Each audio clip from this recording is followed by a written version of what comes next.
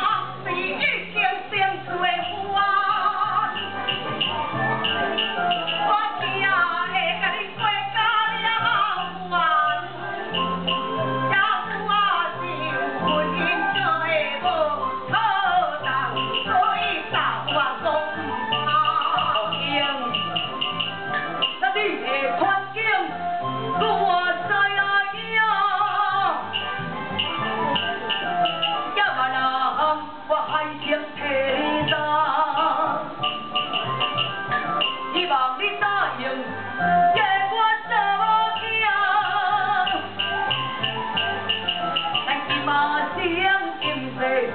ta là thế ya